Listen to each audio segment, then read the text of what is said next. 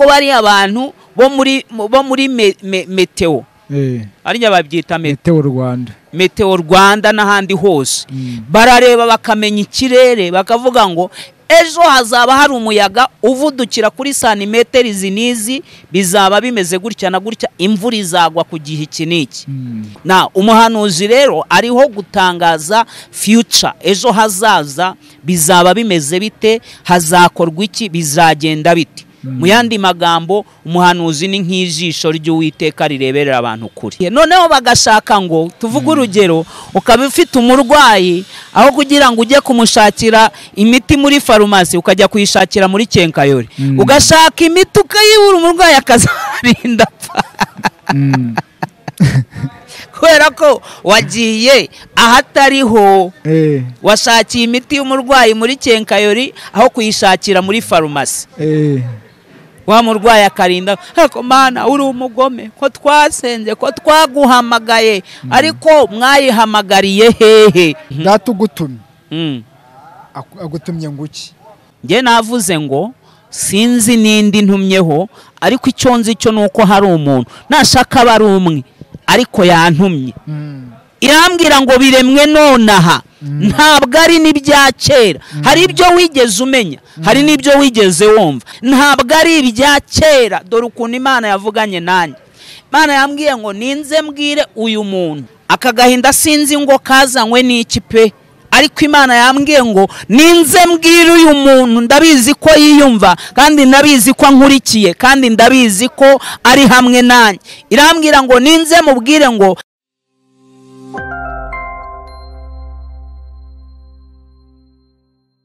dutangiye tugusuhuza kandi tukwifuriza amahoro n'imigisha biva ku mana. Data twese weho mukunzi wacu udukurikira gatanu kuri gatanu. Tukwifurije kugubwa neza kandi umugisha w'imana ubane nawe.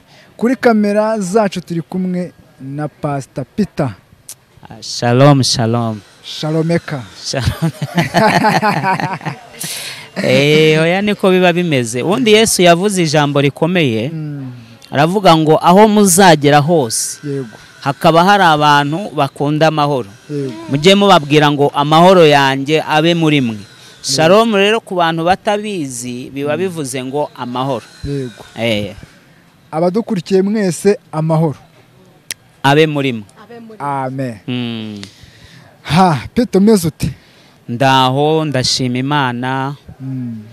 Ubuzima ni neza. Urakomeye. Ni ukuri ndashima yesu. Nanjye iyo nkurebye mba mbona wambaye ubwiza bw'imana. Rimbe ya ndirimbo ze bajyaga bavuga ngo abana b'imana ni beza bambaye ubwiza bw'imana. Abana b'imana ni beza bambaye ubwiza bw'imana. Ni uko batakureba. Eh, niba bakurebaga. niba bakurebaga bakureba ukuntu usa neza bareba ukuntu wambaye neza. Ari ubundi ninde ukudodera? Ah, yitwa karine. Eh, ni we mutayeri undodera. Karine ndakwamamarije uzandodere ishati nziza nk'iriya ya ngoboka nkunda ishati nziza nk'iriya. Uzayindodere kandi kuko nkwamamarije ntago nzakwishyura reka nkubwire pita Mm, wenda nanamwamamarize wa mugani. Mm. icya mbere adoda neza biragaragara. Kabiri Mm. agira serivisi Mm, niba umwenda akubwiye ngo ni kuwa gatanu. Mm. ni kuwa gatanu kuwa gatanu nushaka uzagende wambaye ukorana uhite wambara uhite ujya gusenga. Nta kibazo ubwo ni- kuwa gatanu ni kuwa gatanu. Ntabwo ari bya bindi by'abatayeri. Uri kumva rwose icya kabiri ibiciro bye ntabwo biri hejuru. Nawe reba umuntu oya we nibishaka bibe biri hejuru ariko atanga serivisi nziza mm, biba bihagije. Karine mbere ni umuntu uguha nziza. serivisi nziza. Akorera hehe? Akorera i gasogi. Akorera i gasogi. Mm, ndamwimuye nk'umuhanuzi mwimuye i gasogi muzanye mu mujyi rwagati. Mu mujyi rwagati. Gasogi niba utamuso hari abantu batazashobora kujyayo. Ariko ngewe nk'umuhanuzi muzanye mu mujyi rwagati. Ntago ntago ntago abantu bose bazashobora kujya i gasogi. N'ubu tuvugana i gasogi ni mu mujyi ariko hari abatahazi.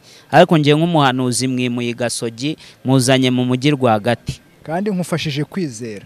Amen. Amen. Birabaye biremwe nonaha ntabwo ari ibya kera. Ah, kare kare kare kare. Ntibitinda rega. Abantu nuko batajya babimenya ngo bamenye imikorere yabyo. Ariko ubwo birabaye kuko niba hari ikintu kibaho tureke no kuba kumva ko turi hano kuri kamera mu kiganiro. Ariko nk'umuntu w'imana ubundi niyo mpamvu abantu b'imana badapfa kuvugavuga ibyo bishakiye. Mm. umuntu w'imana aguhesheje umugisha ukubaho akuvumye uravumwa yego. So ibyo twatura rero imana iba inyuma y'ijambo ry'abagaragu n'intumwa kugira ngo risohoze ikongera ikaba inyuma y'ijambo ryayo ibintu bitatu. Iba inyuma y'ijambo ryayo ikaba inyuma y'ijambo ry'intumwa ikaba inyuma y'ijambo ry'abahanuzi. Nta gituma ibiri inyuma iba inyuma yaryo ni ukugira ngo irisohoze. Ubu rero ndabizi neza ko ndi mu bwiza bwayo. Arya ni arine karine. Karine karine nkwimuye gasogi iki kiganiro nushaka uzakimusheyaringe umubwire ngo pasita pita yakwimuye gasogi kandi birabaye ntituzanabigarukaho hazaza atanga ubuhamya. Arabe yumva. Kandi reka nkubwire peter. Mm, nizera ko imana iri muri twe. Igendera muri twe. Mm. ivugira muri twe. Uba utagira ngo ubivuze nka peter. Ubivuze nk'imana iri muri mm.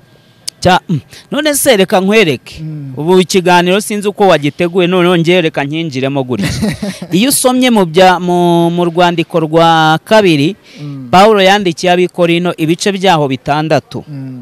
avuga ngo iki urwandiko rwa kabiri pawulo yandikiye abikorino ibice byaho bitandatu Mm. turasoma duhereye ku murongo waho wa mbere Mm.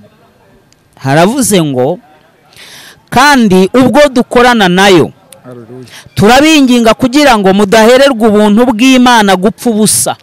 Ninshaka ingarukiraho nawe uze gukomeza. Ubwo dukorana n'imana turabinginze. Kugira ngo aba bantu tubwira babifata for granted babifata nk'ibisanzwe babifata nk'ibya buri munsi. Ariko noneho turabinginze kugira ngo mudahererwa ubuntu bw'imana gupfa ubusa. Bisobanuye ko hari ababukerensa. Bisobanuye ko hari ababupfusha ubusa bisobanuye ko hari abandi babifata nyine uko bakwiriye kubifata. Ariko nyirabyo Mm. bimugirira umumaro Mm. kuko dukorana na yo. Iyo usomye muri amosi amosi ibice byaho bitatu umurongo waho wa karindwi. Hadusomere fata bibiriya ngiyo aho inyuma yawe. Noneho aho ngo aba ari nawe uhasoma. Amosi ibice bitatu umurongo waho wa karindwi. Amosi ibice bitatu umurongo waho wa cumi. Amosi ibice bitatu umurongo wa karindwi.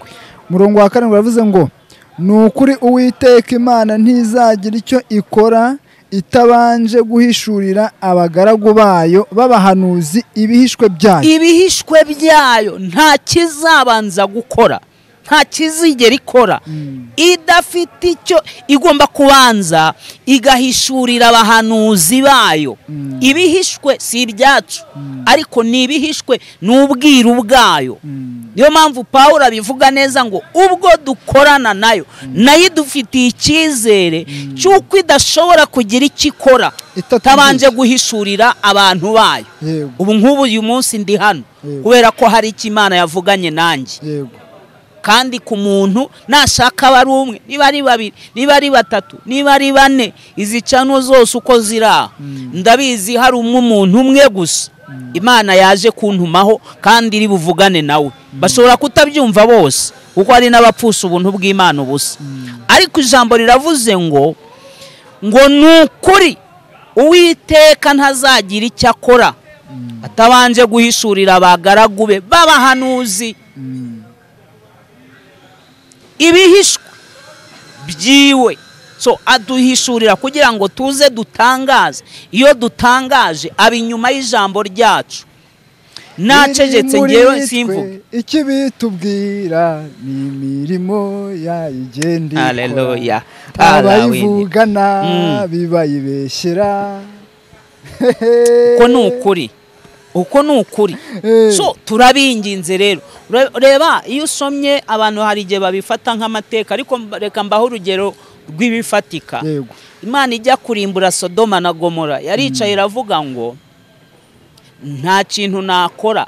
Mm. ntabanje kubwira inshuti yanjye. Mm. imana ibanza ibwira inshuti yayo. Aburahamu iramubwira ati ubu ngubu ngiye kurimbura. Mm. Ngiye kurimbura sodoma na gomora. Mm. aburahamu arayibwira arayirizoninga arayibwira ati ni gute warimburana abanyabyaha n'abakiranutsi? Mm. imana iramubwira ati iryo kosa sinarikora. Mm. noneho abwira imana ngo noneho nyemerera njyewe nkubere ijisho ngende ese nimbonamo abantu mirongo itanu bakiranutse uzarimbura sodoma na gomora. Imana iramubwira ati sinzabikora. Aragenda kabisa yibera ijisho arareba arareba arareba aburamo aragaruka arabwira ati mirongo itanu ni benshi ariko byibuze nimbonamo makumyabiri uzabarimbura Mm. imana iramubwira noneho reka nkumare impungenge nunabonamo umuntu umwe gusa Mm. umwe wenyine Mm. nzabababarira Mm. kugira ngo ibyanditswe muri yeremiya bisohore bivuga ngo mushakashake mu marembo yose. Mm. nimubonamo umuntu umwe uhagarara ku bw'ukuri nzamukizanya umudugudu Mm. aburahamu aragenda aritegereza arareba arareba arareba. Eh, abura n'umwe agahinda karamwica aramubwira ati mana let's your will be done. Ubushake bwawe bube ibyo ushaka aba ari byo biba. So, nta kintu na kimwe. Imana ikora itabanje guhishurira abagaragu bayo b'abahanuzi. Mm. that's why we are here. Mm. Niyo mpamvu turanga. Ndabashuhuje. Peter Mm, n'ubundi iyo uje mm, mba nzi ko ufite amakuru. Cyane. Mba nzi ko ufite amakuru rwose. Mm. ntago ngewe. Mm. buriya twabayeho mu buzima njya abwira abantu ngo nabayeho nabayeho umusitari mu gihe cyanjye cya kera high school life. Yego. Na- nzi icyo bi- bita kuba umusitari Mm. Ndabizi sinaza rero kwiga kuba umusitari ahangaha cyangwa ngo mbishakishe. Nabaye we ndabizi. Ariko nirinze kuba injajwa. Yego. Kubera nzi neza ko hari ikintu imana yavuganye nanjye. Mm. sinjya nza kuvuga ubusa ngo nze mvuge yavuze ndaza ndavuga. Kandi hari n'ibyo imbwira noneho bitari ibyo kuza kuvugira hano. Ibyo nkamenya icyo kubikorera nkamenya niba ari ukubisengera niba ari uku niba ari ukubyiyiririza niba ari ukubirekera aho nkabibwira birakureba wa mana we? Nkaba mfite n'ibindi imana ivugana nanjye ikambwira ngo genda ubwire ubwoko bwanjye genda ukize genda utabare abameze batya na batya Mm. sinjya nza rero ntafite burya mesaje Mm. Mm. ariko burya Mm. wenda mbere y'uko twinjira muri mesaje Mm. ah, burya ubundi umuhanuzi afite izihe nshingano inshingano z'umuhanuzi ngeze mbivugaho yego Ah, mu rwandiko rwa mbere paul yandikiye abikorino ibice cumi na bine wenda abantu baze gusubirayo bahasome bibiri iravuga ngo mushimikire cyane impano z'umwuka. Ariko cyane cyane mushakashake iy'ubuhanuzi kubera ko ubuhanuzi bwungura itorero. Umuhanuzi rero ariho kungura itorero cyangwa se ariho kuba ni nk'iyi mikoro abwira ubwoko bw'imana. Icyo imana yavuganye nawe bya bindi twavuze ngo uwiteka ntazagira icyo akora. Atabanje gucisha mu bahanuzi. Ibihishwe bye. Ibihishiwe abo bantu ibihishiwe ubwo bwoko ibihishiwe abantu bari ku isezerano ibihishiwe abari kuri yacu top tv nubwo mutajya mujyaho ngo mukore subscribe ariko hari ibibahishiwe mugomba kumenya. Ibihishiwe izi cano zose turi kumwe na zo. Mm. urimo urabyumva so ako niko kamaro k'umuhanuzi. Umuhanuzi aba agomba kuba ameze nk'inyenyeri. Inyenyeri imurika ahari umwijima. Mm. umuhanuzi aba ameze nk'umuntu ubundi ugiye kureba reka nkwereke urugero rwiza wafatiraho nk'umuhanuzi. Ni uko rwo rutizewe ijana ku ijana kuko hazamo akantu kitwa ngo ni iteganyagihe Mm. ariko bariya abantu bo muri meteo. Eh, ariya babyita me- meteo rwanda. Meteo rwanda n'ahandi hose barareba bakamenya ikirere bakavuga ngo ejo hazaba hari umuyaga uvudukira kuri santimetero izi n'izi bizaba bimeze gutya na gutya imvura izagwa ku gihe iki n'iki Mm. abantu bakabasha kwitegura niba ari ukugama bakugama niba ari abari bakeneye amazi bakareka niba ari n'abitegura ko hazabamwo ibiza bakagira uburyo bashobora kwitegura kuzabasha kurezisita ya mvura cyangwa se wa muyaga ndetse na rya zuba ryinshi rizaza. Na umuhanuzi rero ariho gutangaza future ejo hazaza bizaba bimeze bite hazakorwa iki bizagenda bite mu yandi magambo umuhanuzi ni nk'ijisho ry'uwiteka rireberera abantu kuri.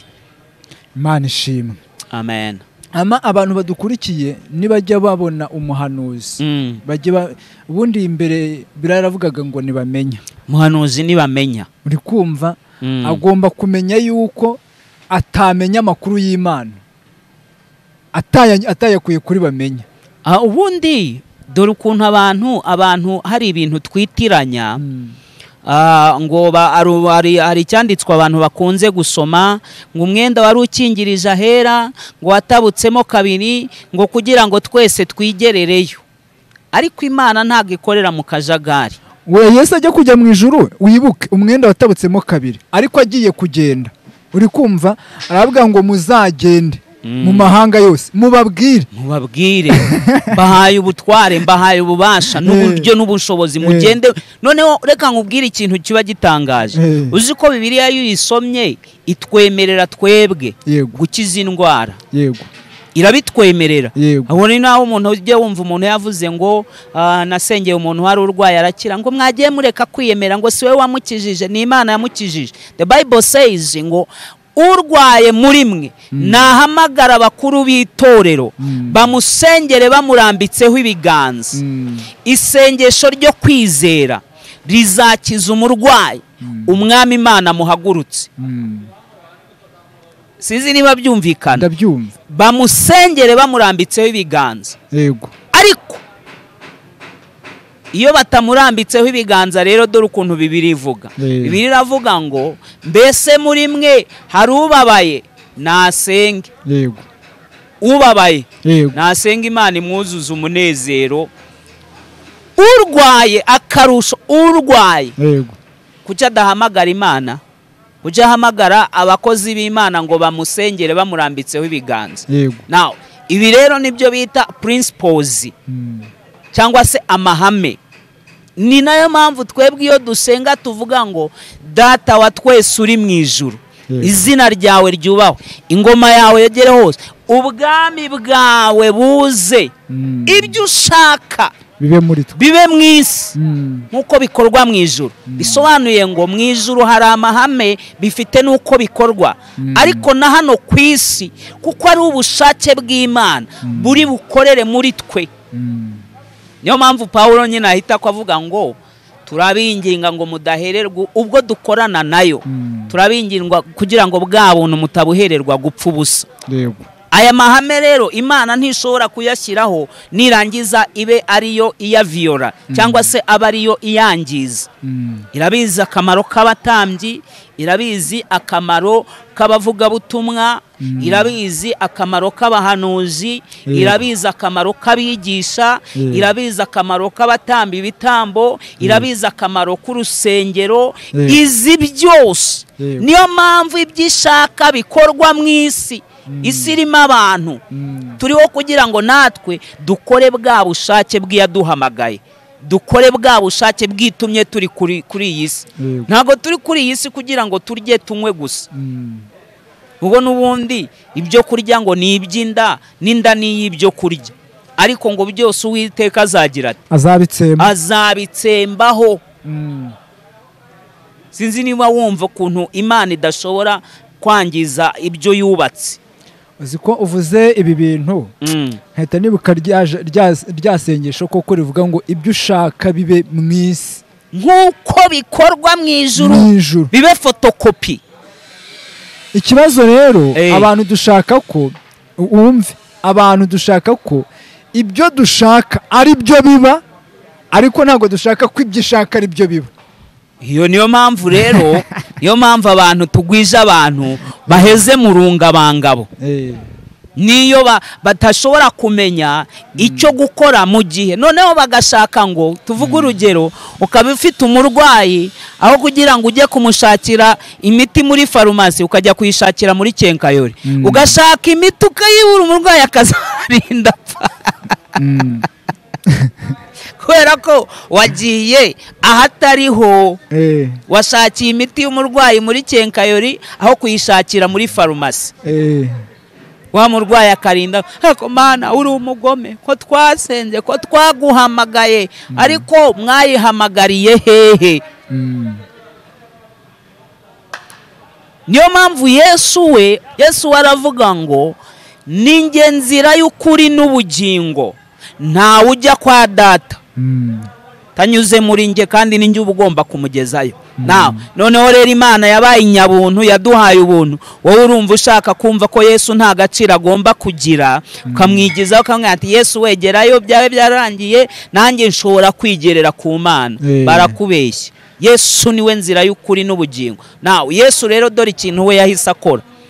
Yahise akora icyo bita desantaralizasiyo Mm. nk'uko twebwe hano mu rwanda dufite imvugo ivuga ngo ubuyobozi bwegerejwe abaturage. Icyo ni cyo bita desantaralizasiyo nawe yesu aravuga ngo ndagiye ngiye kubategurira aho nzaba ni ho muzaba. Ariko mwebwe mbasigiye ubutware mbasigiye ububasha. Nimugende mukize abantu indwara mwirukane abadayimoni muheshe abantu umugisha mu izina ryanjye. Eh, mise menya ko abakozi b'imana Eh. ni ba gitifu ni ba we are ambassadors. Tura Eh. turi abambasaderi b'ijuru Eh, turi abambasaderi b'ijuru ubu niyo mpamvu mba nicaye hano nkaba nkurikiwe n'abari muri amerika abari mu rwanda abari muri australia abari hirya no hino. Kuko ndi ambasaderi udafite umupaka. Eh, data ari mu ijuru. Hano ku isi yaravuze ati mugende amahanga yose. Ubu rero Mm. ubu tuvugana Mhm. data ugutumye Mm. agutumye ngo Reka tubanze turebe ijambo ry'uwiteka hano. Ahangaha muri yesaya. Kanange mfate bibiliya. Fata bibiliya. Nyarukire muri yesaya mirongo ine n'umunani. Yesaya mirongo ine n'umunani. Eh, umurongo wawo wa karindwi. Ko ntangiye gufashwa pita oya gumamo rwose ntunavemo. Ntangiye gufashwa. Gumamo ni ukuri. Yesaya mirongo ine na- n'umunani umurongo wa karindwi. Mm, n'uw'umunani haranditse ngo biremwe nonaha si ibya kera. Kugeza uyu munsi ntiwigeze kubyumva kugira ngo utazavuga uti nari mbizi Mbizi. ni ukuri koko ntabwo wumvise kandi ntacyo wamenye. Uhereye kera ugutwi kwawe ntikwari kwazibuka. Kuko nari nzi yuko wariganijwe cyane kandi wiswe umunyabyaha ukivuka mwakire neza ijambo ry'imana. Ubu ntabwo ari njyewe imana igutumyeho. Njye navuze ngo sinzi n'indi ntumyeho ariko icyo nzi cyo ni uko hari umuntu. Nashaka aba ari umwe ariko yantumye. Mm, irambwira ngo biremwe nonaha. Ntabwo ari n'ibya kera. Hari ibyo wigeze umenya hari n'ibyo wigeze wumva. Ariko si ibi mvuga uyu munsi. Nanjye hari umunsi navuze. Hari n'umunsi nicaye kuri iyi kamera si ubwa mbere si n'ubwa nyuma kuko narababwiye ngo icyo imana izajya intuma nzajya nza nkivuge si n'ubwa nyuma. Biremwe nonaha hari umuntu ubyumva ni iby'uyu munsi ntabwo ari ibya kera. Dore ukuntu imana yavuganye nanjye. Imana yambwiye ngo ninze mbwire uyu muntu. Wagize kanseri urwara kanseri iturutse ku kintu cyitwa agahinda. Aka gahinda sinzi ngo kazanywe n'iki pe? Ariko imana yambwiye ngo ninze mbwire uyu muntu ndabizi ko yiyumva kandi ndabizi ko ankurikiye kandi ndabizi ko ari hamwe nanjye. Irambwira ngo ninze mubwire ngo iyi kanseri ni indwara y'abadayimoni yaje ku buzima bwe kubera ko hari ibyo yariganijwe. Kuwiteka avuganye nanjye. Arambwira ngo hari ibyo yariganijwe ngo ariko dore igihe kirageze. Kugira ngo ukuboko kwayo kwiza kugaragarire ku buzima bw'uyu muntu. Abantu bagufasheho ijambo. Abantu barakuvuze. Abantu bakuvuze menshi. Pe! Uriyumva ndabizi. Ariko iyi kansa ntabwo ari indwara isanzwe nta nubwo ari indwara yo kuguhitana ahubwo ni indwara yazanywe n'abadayimoni kugira ngo babashe kukuriganya. Ariko uwiteka avuganye nanjye arambwira ngo dore igihe cyawe kirageze imana igiye kugukiza iyo kanseri. Uzatanga ubuhamya kandi abantu benshi bazabumenya. Warariganijwe. Warariganijwe ngo uhereye mu buto bwawe nyenyeri yawe yararwanyijwe ariko wenda kubwira uranyumva wowe ufite iyi kanseri. Iyi kanseri ntabwo yazanywe n'ikindi nta n'ikibazo kindi wigeze ugira mu buzima bwawe. Nta n'indi ndwara ahenshi yigeze ikuzonga. Wagiye kubona ubona kanseri iraje utazi aho iturutse barakubwira ngo ufite kanseri. Aho unkurikiye uherereye hose.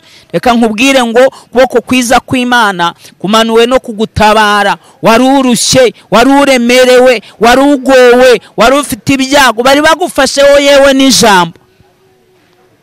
Ariko imana y'amahoro imanuwe kugukiza. Imana yambwiye ngo ninze nkubwire fata iminsi itatu y'amasengesho fata iminsi itatu usenge ku munsi wa kane uzabona ukuboko kwayo kw'imana. Imana y'amahoro igutabare aho uherereye waba uri mu rwanda waba uri muri aziya waba uri burayi aho uherereye hose. Fata iminsi itatu usenge iyi kanseri ntabwo uzongera kuyibona ku buzima bwawe. Nushaka uzayirangiza aya masengesho. Uzayarangize ku munsi wa gatatu ku munsi wa kane ujye kwa muganga. Nkubwije ukuri ku munsi wa kane uzajye kwa muganga. Uzampamagara umpe ubuhamya uzatanga ubuhamya. Abakufasheho ijambo bose bazamenya icyo navuganye nawe. Niko uwiteka yavuganye nanjye. Ubwo ndakubwiye ngewe nuko mpanura. Ntimugategereze narababwiye ngo ntimugategereze ko mbanza kwitigisa evode nuko adahari mufitiye mesaje evode wa hano ku isezerano. Ufitiye mesaje nzayiguha. Imana y'amahoro hari icyo yavuganye nanjye ku buzima bwawe. Abantu batazanagira ngo duhanurira abari kure yacu aba hafi ntitubabwire. Nigeze mbwira my cousin sister yarashatse amaze gushaka inda ye inda ye ivamo. Maze kuvamo ngewe mba ndaho ngaho ntegereza ko uzumva ko yabyaye. Ndaheba. Noneho igihe kiragera nza kumuhamagara. Ntumusore kazini ntabwo urabyara? Arambwira ati reka da pasita byaranze ndayavuyemo sinongera gusama. Ubu hamaze gucaho amezi arindwi. Wati namwira ngo noneho nuzongera kugera igihe cy'uburumbuke. Uzambwire. Arampamagara bita ko ndamubwira ntifata ku nda yawe. Mbwira inda ndayibwira ntiwandawe uyu nguyu ni amaraso yanjye. Uyu ni nge wamutanze. Ntago namwohereje kugira ngo ananirwe kubyara ntabwo nti mu izina ry'iyampamagaye muyo nkorera. Wandawe ndagutegetse ugomba gusama ntuzongere kurenza igihe cyawe. Kwezi kwakurikiyeho yahise asama. Umwana bamunda bamunda ageza ku mezi atandatu nta muvoma n'imwe y'umwana. Ababyeyi murabizi.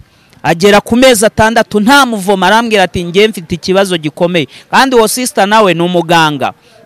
Ntamwe ati umwana sinjya mwumva mu nda. Ntamwe ibyo biroroshye. Ntamwe ni bebe mu nda uri uranyumva. Tangira muvoma na akitivite z'abana kuko uri hafi kuvuka isi iragutegereje. Uwo mwanya tukivugana tangira kumva akana gatera ati kuzine ntikarame ati uzi ko nkumvishe? None wabura gute kukumva? Niba karumvishe kugira ngo kajyemo kabura gute kumva karimo? urimo urabyumva so uko niko ngiye mpanura nutegereza ko nzahanura birenze uko mpanuye. Uzabishaka ubibure. Ariko ndakubwiye ngo iyi kanseri yazanywe n'agahinda. Wagize agahinda maybe ni urugo wagize agahinda maybe ni ibibazo byaguteye kugira agahinda ni agahinda gakabije wagize kadivelopinga kansa ariko mu minsi itatu fata iminsi itatu umare gusenga ku munsi wa kane. Uzajye kwisuzumisha. Uzagaruka hano utubwira uzampamagara umbwira ngo pasita ninjye wa wundi wavugaga. So imana y'amahoro iguha umugisha. Biremwe nonaha. Maybe hari ababigusengeyeho. Maybe hari abakubwiye n'ibirenze ibyo. Nawe wari umaze kubyumva warabihaze. Ariko this time fata iyo minsi itatu. Twigeze nigeze nzambwira abantu imana ivuganye nanjye kuri aba bantu batajya ba- ba- bamaze igihe kirekire batabyara. Ariko imana irambwira ngo mu kwezi kwa karindwi n'ukwa munani hagiye kuboneka imbyaro. Mbwira abantu ntidusenge iminsi irindwi. Twasenze seven days. Umudamu umwe wari umaze imyaka cumi n'ibiri n'undi wari umaze imyaka umunani n'undi wari umaze imyaka irindwi south africa. Abo bose muri ayo mezi n'abandi wenda ntagiye menya. Bagiye kurangiza ayo mezi bafite ibitangaza byabo inda zaramaze kugeramo ngewe rero niko mpanura buriya. Ubu narangije no guhanura utegereje. Ariko hari ikindi kintu numva hari umuntu umwe numva nshaka gusengera. Uyu muntu umaze igihe ubura ibitotsi neza ukaryama ukumva ibitotsi byanze. Wowe umpamagare ngo usengere mpamagare ngo usengere wowe ndumva nshaka kugusengera. Mpamagara ujya uryama ukabura ibitotsi ukora ibishoboka byose yewe hari n'igihe ukoresha ibinini kugira ngo ubashe gusinzira. Ariko reka nkubwire ngo hari gifuti imana iguhaye uze kumpamagara we dusengane. Ndaguhesha ibitotsi mu izina rya yesu. Hita umuha nimero ye akibyu- akibyumva. Uze kuyishyiraho cyangwa ayishake nawe biba uze kuyishyiraho. Mpamagara kuri zeru karindwi umunani gatandatu mirongo itatu kane kabiri kane gatanu. Eh. iyo niyo nimero yanjye iri no kuri watsapu mpamagara wowe muntu wumva umaze igihe ubuze ibitotsi ukaryama ibitotsi bikanga ukumva urananiwe ariko ibitotsi byabaye byarabuze byabaye nk'amafaranga yo muri iyi minsi. Ahantu umuntu wese intera amafaranga yarabuze amafaranga yarabuze. Nawe ibitotsi byarabuze. Mpamagara ngo uheshe ibyo bitotsi kuko ndabizi neza ko biri muri sitoke y'imana. Bibiri irambwira neza iyo usomye muri zaburi y'ijana ijana na makumyabiri na na karindwi na karindwi na wa kabiri. Hansomere. Hansomere ntaza kuvuga. Zaburi? Zaburi y'ijana na makumyabiri na karindwi. Eh, hansomere turebe niba ariho. Umurongo waho. Wa kabiri?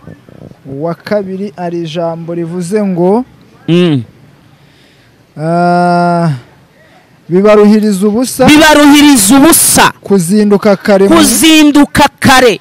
Mugatinda cyane kuruhuka. Mugatinda cyane kuruhuka. Mukarya umutsima w'u- w'umuruho. Mukarya umutsima w'umuruho. Niko aha niko aha ariko witeka niko aha uwakunda ibitotsi.